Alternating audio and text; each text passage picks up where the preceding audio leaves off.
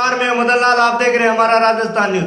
कोटा ज़िले के मदनपुरा रोड पर आमने सामने दो बाइक भिड़ंत में, दोनों बाइक सवारों को आई चोटे। आइए देखते हैं ये रिपोर्ट। रात्रि आठ बजे करीब मोतीपुरा गाँव के घुमाव पर मोहित सुमन चेचट, दूसरा प्रवीण कुमार मीणा, निवासी रायखेड़ा दोनों घुमाव पर आने सामने की भिड़ंत में घायल हुआ, जिनको एक सौ आठ एंबुलेंस से चेचट अस्पताल पहुँचाया गया, जहाँ पर डॉक्टर हरीश गुप्ता ने प्राथमिक उपचार कर झालावाड़ रेफर कर दिया गया। ये रोड दुर्घटना होने का प्रमुख कारण रोड पर काम चल रहा है और पूरे रोड पर गिट्टी डली हुई है।